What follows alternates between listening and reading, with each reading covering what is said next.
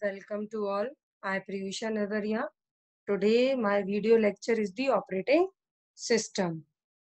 Actually lecture start करने से पहले एक छोटा सा मैसेज है stay home and safe because stay home then all are happy. Now continue the today's video lecture. So uh, I describe the some uh, important points uh, in this video lecture.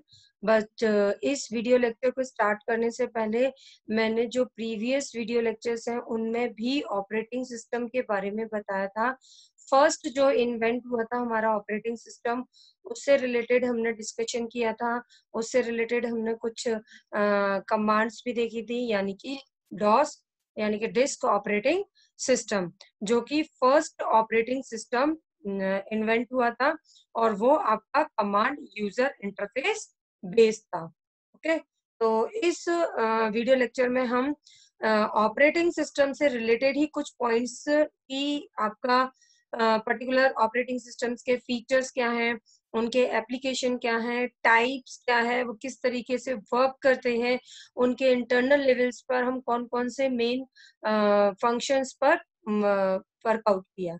क्यों? क्योंकि DOS में आपका जो था, वो command user interface था user friendly नहीं था, इसलिए हमने ऑपरेटिंग फीचर्स के ऊपर काफ़ी इन्वेंशन किया और नए नए ऑपरेटिंग सिस्टम्स को क्रिएट किया था। तो इसीलिए जो जो फंक्शनिंग डिस्क ऑपरेटिंग सिस्टम्स के बाद इन्वेंट हुई उनके बारे में हम इस पर्टिकुलर वीडियो लेक्चर में डिस्कशन करेंगे so first of all history and second one is the introduction of operating system and continue uh, features and application and uh, of operating system and types of operating system what uh, learning outcomes and research scope and references now the actually normal point है कि अगर हमको operating system के ऊपर uh, work करना है उसकी functioning को समझना है तो उससे रिलेटेड जितने भी बेसिक कंसेप्ट हैं उनके बारे में भी हमको नॉलेज होना ज़रूरी है। क्यों? क्योंकि ऑपरेटिंग सिस्टम की फ़ंक्शंस को यूज़ करने के लिए जो मल्टीपल पॉइंट्स हैं उन पर हमको फोकस भी करना चाहिए। Like keyboard because of keyboard is an input device and mouse uh, and uh, mouse is also in an input device. Um, so all input device and output uh, device information are related because uh, many inputs are given in different different uh, devices so so, जितनी भी input device है जिनसे related processing अपनी execute होनी है उनसे related जिस तरीके का आउटपुट डिस्प्ले होना है उन पर्टिकुलर फंक्शनिंग के बारे में हमको इंफॉर्मेशन होना चाहिए। और सबसे जो मेन पॉइंट है वो है आपका मेमोरी बिकॉज़ ऑपरेटिंग सिस्टम हमारा कंट्रोल करता है इन एग्जीक्यूशन uh, के लिए हेल्प करता है एज अ इंटरमीडिएट वर्क करता है बट uh, हर वर्क के लिए हमें मेमोरी की रिक्वायरमेंट होती है। और अगर इन टॉपिक्स के बारे में हमें प्रॉपरली अवेयर नहीं है तो हमें ऑपरेटिंग सिस्टम के कंसेप्ट को इंटरनल लेवल पर समझने में कुछ कुछ प्रॉब्लम्स हो सकती हैं। तो फ़र्स्ट ऑफ़ ऑल हमें ये छोटी छोटी जो फंडामेंटल्स डेफिनेशन है उनके बारे में इंफॉर्मेशन लेनी चाहिए और देन हम ऑपरेटिंग सिस्टम पर टोटली वर्क कर सकते हैं। बिकॉज़ क्योंकि जब हम डिस्क ऑपरेटिंग सिस्टम पर वर्क करते थे तो वो आपका सी यू आई बेस्ड था सिंगल यूज़र ऑपरेटिंग सिस्टम था तो उसमें आपका जो, उसमें भी आपके कीबोर्ड और माउस वर्क करते थे बट डिस्क पर जो ऑपरेटिंग सिस्टम था, उस पर आपकी ओनली कीबोर्ड वर्क करता था। माउस उसमें वर्क नहीं करता था। इसलिए हमारी जो फीचर्स है, वो काफ़ी इन्वेंट हुई और उन फीचर से रिलेटेड हमें इस पर पर्टिकुलर इंफॉर्मेशन गेन करनी चाहिए। Now what is history of the operating system? Actually uh, DOS जो है वो आपका हाई लेवल लैंग्वेज भी है एंड लो लेवल लैंग्वेज भी है। बिकॉज़ वो बहुत ज़्यादा इंस्ट्रक्शंस को सपोर्ट नहीं करता है। इसीलिए सबसे पहले हमने फोकस किया कि जो भी हम सिस्टम को डिज़ाइन करेंगे ऑपरेटिंग सिस्टम से रिलेटेड उसको हम हाई लेवल लैंग्वेज में डिज़ाइन करेंगे। बिकॉज़ क्यों? एक्चुअली वाई इसलिए क्योंकि हाई लेवल लैंग्वेज आपका यूज़र फ्रेंडली लैंग्वेज है। यूज़र उसको इजीली तरीके से अंडरस्टैंड कर और उस पर वर्किंग प्रॉपर तरीके से एग्जीक्यूट कर पाए। इसलिए हम हाई लेवल लैंग्वेज को प्रेफरेंस देते हैं। देन uh, उसके बाद ऑपरेटिंग सिस्टम को हमने और ज़्यादा पावरफुल बनाया उसमें नंबर ऑफ़ सर्विसेज़ को ऐड किया और साथ ही साथ यूज़र के साथ उसका इंटर रिलेशन काफ़ी इजी किया। बिकॉज़ इसका फोकस यही था कि ज़्यादा से ज़्यादा यूज़र्स इसको यूज़ कर पाए। एंड uh, काफ़ी सारी कॉम्प्लेक्सिटीज भी होती हैं ऑपरेटिंग सिस्टम को डिज़ाइन करने के लिए। क्यों? क्योंकि ऑपरेटिंग सिस्टम आपके बाइनरी कोड uh, को एग्जीक्यूट करता है। और जब बाइनरी कोड को रीड करते हैं तो उसको हमें प्रॉपरली इंडिकेट और प्रॉपरली कन्वर्जन होना चाहिए। अगर ऐसा नहीं होगा तो हमारा जो आउटपुट है वो आपका गलत हो सकता है। और दूसरी बात जो भी हम रिप्रेजेंटेशन फॉर्म ऑपरेटिंग सिस्टम की हेल्प से सिस्टम के अंदर स्टोर करते हैं, जिसकी हेल्प से हम किसी भी फ़ाइल को एक्सेस कर सकते हैं, किसी भी फ़ाइल पर वर्क कर सकते हैं। तो वो जो आपका यूज़र को के लिए एक सपोर्टेबल सिस्टम है, उसको हम हिरार्किकल फ़ाइल सिस्टम रिप्रेजेंट करते हैं, जिससे हम इजीली तरीके से अपने डेटा को और अपने वर्क को मेंटेन कर सकते हैं और अपने उसको डन भी कर सकते हैं। Now this is the introduction of operating system कि पंग जो मेन मेन आपके ऑपरेटिंग uh, सिस्टम को सपोर्ट करने वाले फीचर्स हैं उनके ऊपर हमने ध्यान से इस पूरे डायग्राम में रिप्रेजेंट किया है। तो आप देख रहे होंगे कि मैंने दो जो बॉक्सेस हैं आपके operating system and the hardware इनको डिफरेंट कलर से मेंशन किया है। और जो आपके अलग है यानी कि थ्री बॉक्सेस हैं उनको मैंने डिफरेंट कलर से मेंशन किया है। बिकॉज़ ऑपरेटिंग सिस्टम जो है, वो आपका एज एन इंटरफेस वर्क करता है सॉफ्टवेयर एंड हार्डवेयर के बीच में। And operating system is also a set of program to control the execution of different different application program और as an act as a intermediated between the user of a computer and computer hardware So many more operating systems are built in the current time. Uh, first invention is the DOS, means disk operating system, and uh, next is the Window, uh, Window NT operating system, macros, Android, Linux. Many more operating systems are built in the current time. But the first है वो आपका DOS है DOS में जितने भी drawbacks थे, उनको हमने रिमूव किया था यूनिक्स के अंदर। मतलब डॉस हमारा फुल्ली तरीके से कमांड यूज़र इंटरफेस बेस्ड था एंड यूनिक्स हमारा डॉस को सपोर्ट करते हुए, यानी कि कमांड यूज़र इंटरफेस को सपोर्ट करते हुए हमने उसमें कुछ जीयूआई के कंसेप्ट भी ऐड किए थे।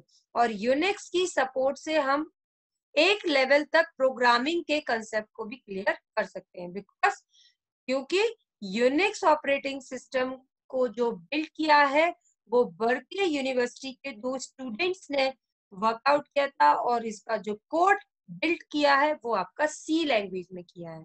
और सी लैंग्वेज आपका आ, कुछ पार्ट जीयूआई का सपोर्ट करता है। इसीलिए यूनिक्स पर भी हम एज अ प्रोग्रामिंग वर्कआउट कर सकते हैं। And window is a totally GUI यानी कि graphical user interface base and जब डॉस और यूनिक्स के में जो आपका ड्रॉबैक्स निकल के है यानी कि डॉस का एडवांस वर्जन यूनिक्स है एंड यूनिक्स का एडवांस वर्जन लाइनिक्स है. विंडो और लाइनिक्स में बहुत बड़ा मेजर डिफरेंस है सिक्योरिटी का. इसी पॉइंट ऑफ़ व्यू को, यानी कि डेटा की सिक्योरिटी को ध्यान में रखते हुए लाइनिक्स का इन्वेंशन किया था। और लाइनिक जैसे कि विंडो में मल्टीपल वर्जन आपके अवेलेबल है। जैसे आप यहाँ पर देख रहे हैं, window window NT, window professional window thirteen window sixteen many more operating system and version are in available in the window then Linux are also in the different different version like Red Hat Fedora Ubuntu all are दर्जन of the and the advance advance version in the linux तो अब हम diagram का representation form देख लेते हैं। Actually this one is the application program. Application program it means the software means जब हम किसी भी यूज़र uh, की क्वेरी को क्रिएट करते हैं तो उसको हम एज अ सॉफ्टवेयर ट्रीट करते हैं और उसी सॉफ्टवेयर को हम टेक्निकल uh, लैंग्वेज में एप्लीकेशन प्रोग्राम बोलते हैं। एप्लीकेशन प्रोग्राम जितने भी हम डन करते हैं, वो बिना आपके सिस्टम प्रोग्राम के हेल्प के सपोर्ट के आपके एग्जीक्यूट नहीं हो सकते। इसीलिए एप्लीकेशन प्रोग्राम जो है, वो आपका बाय डायरेक्शनली कनेक्टेड होता है सिस्टम प्रोग्राम के साथ।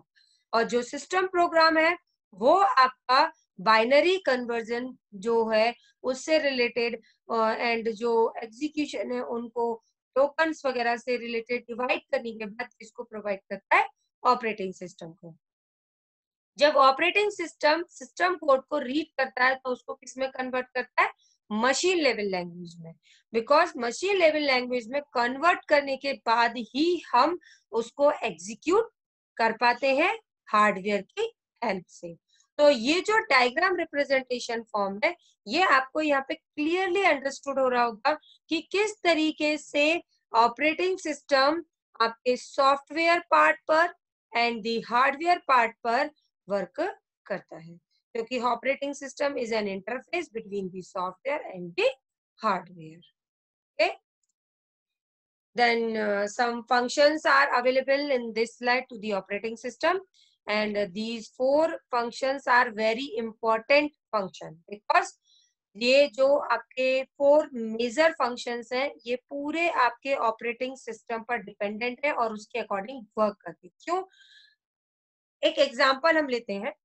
आप किस कोई टेक्स्ट फ़ाइल तैयार कर रहे हैं ओके यानी कि वर्ड पर एमएस वर्ड पर आपने अपनी कोई फ़ाइल तैयार की, यानी प्रिपेयर की।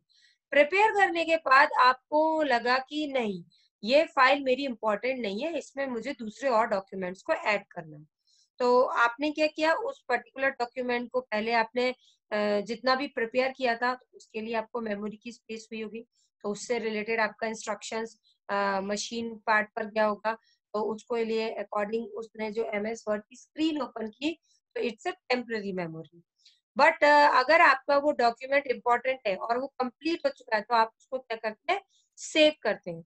तो सेव के लिए एक परमानेंट एड्रेस जो है, वो भी ऑपरेटिंग सिस्टम की हेल्प से एलोकेट होता है। ओके देन उसके बाद अगर वो डॉक्यूमेंट्स आपका एज अ प्रोग्रामिंग है, यानी कि अगर हम कोई प्रोग्राम क्रिएट कर रहे हैं तो उसको हम एग्जीक्यूट करना चाहते हैं, उससे रिलेटेड हम आउटपुट देखना चाहते हैं तो उससे रिलेटेड हमारा प्रोसेसर हेल्प करता है। बट प्रोसेसर को एग्जीक्यूशन के लिए भी मेमोरी की रिक्वायरमेंट होती है। ओके? तो जब मेमोरी की रिक्वायरमेंट आपके इस पर्टिकुलर प्रोसेसर यानी कि प्रोसेस करने के लिए होती है, यानी कि इनपुट के लिए भी मेमोरी की रिक्वायरमेंट होती है प्रोसेसिंग यानी कि एग्जीक्यूशन के लिए भी मेमोरी की रिक्वायरमेंट होती है, और आउटपुट को डिस्प्ले करने के लिए भी मेमोरी की रिक्वायरमेंट होती है। तो आप देख सकते हैं कि memory management and process management both are connected to the any work to perform. And third one is the device management. Actually the device management means है कि system से जितने भी parts connected होते हैं वो एक नॉर्मल कनेक्शंस होते हैं लेकिन अगर किसी अदर डिवाइस के साथ हम वर्क कर रहे हैं like printer pen drive scanner तो ये आपके अदर डिवाइसेस में काउंट होते हैं। जब ये आपके जो अदर डिवाइस है और ये सिस्टम के साथ आपके कनेक्ट करते हैं तो कनेक्ट के साथ में कुछ एकाध पॉइंट ऐसे होते हैं कि जिसको कंट्रोल करना होता है। क्यों? क्योंकि अगर उस पर्टिकुलर डिवाइस पर हमारा इंस्ट्रक्शन जाना चाहिए तो उससे रिलेटेड भी ऑपरेटिंग सिस्टम हमारी हेल्प करता है। अब, अगर हमने उस पर्टिकुलर डिवाइस को यूज़ करते हुए डेटा को स्टोर किया, मान के लिए हमने पेन ड्राइव ली उस पेन ड्राइव में से एक डेटा लिया और डेटा को स्टोर किया। तो उससे रिलेटेड भी इंस्ट्रक्शन हमारे कहाँ जाएँगे? मेमोरी के पास रिक्वेस्ट जाएगी, उसका रिस्पॉन्स आएगा। तो यानी कि डिवाइस मैनेजमेंट भी आपका बड़ डायरेक्शनली कनेक्टेड मेमोरी मैनेजमेंट के साथ एंड प्रोसेसर के साथ है। And last one is the file management actually the file management is very important because जितना भी वर्क हम किसी भी ऑपरेटिंग सिस्टम की हेल्प से करते हैं, उसमें जो भी डेटा हमारा हम स्टोर करते हैं, उसको एज अ फ़ाइल ट्रीट करते हैं। जैसे कि मैंने आपको बताया था कि डायरेक्टरी यानी कि फोल्डर भी एक तरीके से फ़ाइल के अकॉर्डिंग ही ट्रीट की जाती है। बिकॉज़ क्योंकि डायरेक्टरी में हम डेटा को स्टोर नहीं कर सकते, लेकिन उसके इंटरनल लेवल पे बहुत सारा डेटा आपका स्टोर होता है। Like user file supporting file temporary file so many more files are stored in the directory so जो फ़ाइल मैनेजमेंट है मीन्स क्रिएशन फ़ाइल को क्रिएट करना अपडेशन जो क्रिएटेड फ़ाइल है, उसमें कुछ अपडेशन करना डिलीटिंग अगर हमारी इंपॉर्टेंट कोई फ़ाइल नहीं है, अब हम उसे डिलीट करना चाहते हैं तो डिलीट तो many more operation are performed in step by step execution properly done to help the operating system okay then next is the application of operating system actually application and uh, function ये आपके काफ़ी uh, मिलते जुलते point है because uh, किस according आप कोई file prepare कर रहे हैं तो उसको सिक्योर भी करना चाहेंगे तो जब आप उसमें सिक्योरिटी मेंटेन करेंगे तो उसी के अकॉर्डिंग हम सिक्योरिटी को एज एन एप्लीकेशन यानी कि हमारा जो डेटा पर हम वर्क करते हैं, उस डेटा को सिक्योरिटी के लिए हम पासवर्ड क्रिएट करते हैं, अपने सिस्टम को सिक्योर करने के लिए हम पासवर्ड क्रिएट करते हैं तो उस पासवर्ड को कोई इजीली ना चेक कर पाए और उसको एज अ कोडेड फॉर्म में हो रही, इसके लिए भी ऑपरेटिंग सिस्टम हमारी हेल्प करता है। कैसे? जब आपने अपने सिस्टम के लिए कोई पासवर्ड क्रिएट किया तो जब तक उस पर्टिकुलर इंस्ट्रक्शंस पर आपने जो पासवर्ड क्रिएट किया था, वही पासवर्ड आप नहीं देंगे, उसको प्रॉपरली मैच नहीं कर लिया जाएगा, तब तक आपका सिस्टम ऑन नहीं होगा। And second is the control over system performance obviously control का मतलब होता है हर लेवल पर कंट्रोल करना। मीन्स आपका अगर मेमोरी से कोई मेमोरी हमको लेनी है, हमें प्रोसेसर पर कोई इंस्ट्रक्शंस पास करना है, किसी फ़ाइल को हमें क्रिएट करना है तो many more operation are done to the help of operating system so all operation are controlled to over the system performance okay then next one is the job accounting actually job accounting का मतलब होता है आपका जब हम multi environment condition use करते हैं। Means multiple users जब एक साथ वर्क करते हैं, एक ही सिस्टम से कनेक्टेड होकर के तो उस केस में हम रिसोर्सेज को भी शेयर करते हैं। तो जब रिसोर्सेज आपके शेयर होते हैं तो आपके रिसोर्सेज किस लेवल से आपके फ्लो होने चाहिए, किस यूज़र के पास किस टाइम तक रहना चाहिए, उसके बाद पास ऑन होके कहा जाना है, किस यूज़र के पास जाएगा, ये सारी प्रोसेस की एक अकाउंटिंग सिस्टम होती है, उससे रिलेटेड जितने भी फ़ंक्शंस होते हैं, उसमें भी हमारा ऑपरेटिंग सिस्टम हेल्प करता है। And next is the error detecting actually error detecting का मतलब है, जैसे अगर हम कोई प्रोग्राम बना रहे हैं और उस प्रोग्राम से रिलेटेड जब हमने कोई लॉजिक क्रिएट किया और उससे रिलेटेड जब हमने उसको रन किया और रन करने के बाद जो आउटपुट आया तो वो रॉन्ग आया। तो अगर वो आउटपुट रॉन्ग आया या हमारे में कोई सिंटेक्स एरर थी या उस इंस्ट्रक्शंस को हमारा सिस्टम सपोर्ट नहीं कर रहा तो उससे रिलेटेड ऑपरेटिंग सिस्टम हमारे पास मैसेज भी जनरेट करती है। तो इस टाइप की कंडीशंस भी मतलब एरर को हैंडल करना एरर को रिजॉल्व करना, इस टाइप की कंडीशंस भी ऑपरेटिंग सिस्टम आपका डील करता है। जैसे आप एंटीवायरस इंस्टॉल करते हैं तो एंटीवायरस के बाद उसके सारे इंस्ट्रक्शंस को प्रॉपरली एग्जीक्यूट करना, जैसे आपने पेन ड्राइव लगाई तो फर्स्टली उस पेन ड्राइव को स्कैन होना चाहिए। तो ये भी एक इंस्ट्रक्शन है ना, आपका सॉफ्टवेयर रन कर रहा है, लेकिन किसकी हेल्प से कर रहा है? ऑपरेटिंग सिस्टम ये जो हमने functioning of operating system and application of operating system ये जो पूरा मेजर पार्ट देखा, इस मेजर पार्ट का पूरा जो वर्किंग है वो वर्किंग आपका किसके लिए होता है? यूज़र और आपके सॉफ्टवेयर के बीच में। इसमें अगर प्रॉपर तरीके का कोऑर्डिनेशन आपका है तो इसका मतलब आपका जो वर्क है और जो आपका ऑपरेटिंग सिस्टम है वो आपके वर्क के साथ properly supported now the next is the types of operating system. Many more types are available in the uh, uh, slide. So the first uh, types of operating system is the batch operating system. Actually batch operating system का जो working procedure है वो like punch card के through है. यानी कि punch card में जितने भी नंबर ऑफ़ बैचेस हमारे स्टोर हो जाते थे और जब तक वो हमारा पंच कार्ड कंप्लीटली फिल नहीं होता था तब तक हम उस पर्टिकुलर पंच कार्ड को सेंड नहीं करते थे. तो उस केस में क्या होता था आपका? जो डेटा था यानी कि जो और डेटा उसमें स्टोर हो गए थे, उनको क्या करना होता था? डिले हो जाता था। यानी कि बैच ऑपरेटिंग सिस्टम को यूज़ करने से जो डेटा की प्रोसेसिंग थी, वो आपकी टाइम कंज्यूमिंग थी। Then next is the single user operating system ये फ़र्स्ट आपका सिंगल यूज़र ऑपरेटिंग सिस्टम है, जो कि आपका डिस्क ऑपरेटिंग सिस्टम यानी कि डॉस है। यानी कि डॉस आपका सिंगल यूज़र ऑपरेटिंग सिस्टम पर वर्क करता है। Then next is the multi user operating system current time पर हम इसी फ़ंक्शन को यूज़ करते हैं, यानी कि मल्टी इसी पर्टिकुलर टाइप पर हम वर्क करते हैं। क्यों? क्योंकि हमारे जो डेटा का साइज़ है, वो एक्सेस लेवल पर हो गया है। और जब ये एक्सेस लेवल पर हो गया तो उसको मैनेज करने के लिए भी हमें नंबर ऑफ़ पर्सन की ज़रूरत है। और वो नंबर ऑफ़ पर्सन आपस में कनेक्टेड होकर के वर्क करते हैं। तो मल्टी यूज़र ऑपरेटिंग सिस्टम का मतलब है आपका number of users at a time आपके वर्क एक कर सकते हैं। Next one is the multi programming operating system. Actually the multi programming operating system is support to the single user operating system also because कैसे कि multi programming operating system का मतलब होता है जैसे हम एक ही सिस्टम पर पेन भी ओपन किए हुए हैं ठीक है? हम आपके आ, मतलब एम फ़ाइल भी कोई ओपन करके रखे हैं कोई गूगल क्रोम भी ओपन करके रहे। तो ये क्या मतलब है कि डिफरेंट डिफरेंट टाइप्स की प्रोग्रामिंग आपकी एग्जीक्यूट हो रही है। तो इसीलिए हम मल्टी प्रोग्रामिंग के कंसेप्ट के साथ ये बोलते हैं कि ये सिंगल यूज़र ऑपरेटिंग सिस्टम के साथ भी वर्क करता है। यानी many different types of functions are open at a time and use in the at a time.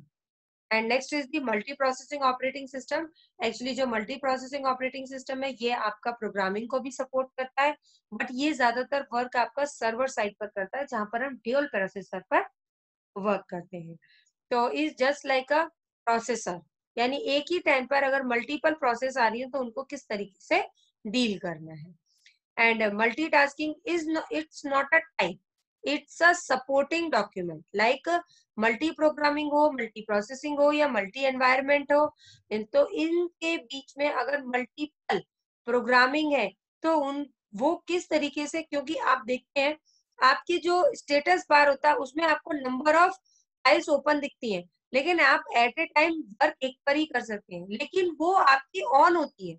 तो इसका मतलब क्या है कि जितनी भी डिफरेंट डिफरेंट टाइप के टास्क टास्क आपने परफॉर्म किया है, वो डिफरेंट डिफरेंट टाइप का टास्क जो है, वो आपका टाइम के अकॉर्डिंग स्लाइस किया हुआ है। यानी कि हम शेड्यूलिंग कंसेप्ट में भी ये चीज़ पढ़ते हैं कि किस तरीके से हम अपने टाइम को शेड्यूल करते हैं मल्टीपल प्रोसेसेस को एक साथ एग्जीक्यूट करने में। तो जो मल्टीटास्किंग कंसेप्ट है, ये टोटली आपका डिपेंड होता है टाइम पर, यानी टाइम के डिवीज़न फॉर्म पर। Like uh, some other types of operating system are also supported to the different different operating system first one like the distributed operating system actually distributed operating system का main motive होता है आपका कि multi environment के time पर जब multiple users work करते हैं तो उनके बीच में डेटा को प्रॉपर या रिसोर्सेज को प्रॉपरली फॉर्म में डिस्ट्रीब्यूट करने में हेल्प करना and next one is the real time operating system actually जो रियल टाइम ऑपरेटिंग सिस्टम है, ये आपके लाइव प्रोजेक्ट्स पर भी वर्क करते हैं। इस टाइप के जो वर्किंग है। बिकॉज़ इसीलिए हमने इसको टू टाइप्स में डिवाइड किया है। Hard real time soft and soft real time soft मतलब hard real time soft system के अंदर हम चेंजेस नहीं कर सकते। फंक्शनिंग जो भी एक बार अगर डन हो गई है तो उसको हम एग्जीक्यूशन के बाद ही उसमें कोई चेंजेस अप्लाई कर सकते हैं, लेकिन एग्जीक्यूशन के ड्यूरेशन पर हम उसमें चेंजेस नहीं कर सकते। But soft real time system में हमारे पास कुछ कंडीशंस होती हैं, जिस बेसिस पर हम अपने एग्जीक्यूशन को मीडिएटर लेवल पर भी स्टॉप करके अपना वर्कआउट कर सकते हैं। And next one is the network operating system actually जो नेटवर्क ऑपरेटिंग सिस्टम है, ये आपका फुल्ली तरीके से सपोर्ट करता है नेटवर्किंग कंसेप्ट मतलब हम जब मल्टी एनवायरमेंट और मल्टी यूज़र्स की बात कर रहे हैं तो ऐसा ज़रूरी तो नहीं है कि मल्टी यूज़र्स है तो वो किसी एक ही रूम में, एक ही बिल्डिंग में वर्क कर रहे हैं? नहीं। जैसे कि हम अभी करंट टाइम पर भी देख रहे हैं कि अभी ज़्यादातर जगह लॉकडाउन सिस्टम है। बट फिर भी नंबर ऑफ़ यूज़र्स एक साथ कनेक्ट होकर के काफ़ी सारा वर्क आपका परफॉर्म कर रहे हैं। ये किसकी हेल्प से हो पा रहा है? नेटवर्क की हेल्प से हो पा रहा है। उनका वर्क कैसे हो पा रहा है? ये ऑपरेटिंग सिस्टम की हेल्प से हो पा रहा है। Now the this video lectures के कंप्लीट होने के बाद जो इन्फॉर्मेशन है वो आपको इस तरीके से मिल सकती है कि मतलब लर्निंग आउटकम्स आपका ये है कि uh, जो ऑपरेटिंग सिस्टम है उसमें number of functions which type of applications are uh, support to the operating system and different different types of operating system are also know so जो सीपीयू का हमारा फुल तरीके से वर्किंग है management process के according और different different types के instructions जो पास होते हैं उनको प्रॉपरली मैनेज करने के ऊपर ये सारी चीज़ें हमें इस पर्टिकुलर वीडियो लेक्चर में समझ में many more compilers are uh, designed uh, because user की प्रॉब्लम्स को रिजॉल्व करने के लिए हम डिफरेंट डिफरेंट कंपाइलर्स पर वर्क करते हैं और डिफरेंट डिफरेंट कंपाइलर जो आपके बिल्ड किए जाते हैं वो किसी ना किसी ऑपरेटिंग सिस्टम को सपोर्ट करते हैं और जो रिसर्च है वो आपकी ऑपरेटिंग सिस्टम पर अभी भी ऑन गोइंग ही है and uh, your uh, two books uh, are supported in this slide First one is the Morris J. Batch, the design of the Unix operating system and published by the AT&T and uh, Sumita Das is the Unix concept and application. This book is totally depend on the command base. जहाँ तक है आपको operating system के functions application types and history आपको इस particular video lecture में समझ में आ गए होगा। और इससे प्रीवियस वीडियो लेक्चर्स में भी मैंने आपको बता दिया था कि जो डॉस है, उसमें हम किस तरीके से कमांड्स को रन करते हैं, वो मैंने प्रॉपर आप लोगों को समझाया था। नेक्स्ट जो वीडियो लेक्चर है, वो आपका अब टोटली यूनिक्स पर बेस होगा। बिकॉज़ जो आपका सब्जेक्ट है, वो है यूनिक्स एंड शेल प्रोग्रामिंग और अब हम जितने भी कंडीशंस देखेंगे, वो हम अपने पार्शियल कमांड यूज़र इंटरफेस और पार्शियल ग्राफिकल यूज़र इंटरफेस से रिलेटेड मीन्स हमारे पास जो मल्टीपल एल्गोरिथम्स हैं, कि जो ऑपरेटिंग सिस्टम के अकॉर्डिंग इनपुट और आउटपुट पर वर्कआउट करती है, उनसे रिलेटेड और किस तरीके से हमारी फ़ाइल स्टोर वगैरह होती है, वो सारा कंसेप्ट हम पर्टिकुलर अब वीडियो लेक्चर्स में देखेंगे। So now thank you again and I hope आप अपने अपने घर पर सेफ़ रहें।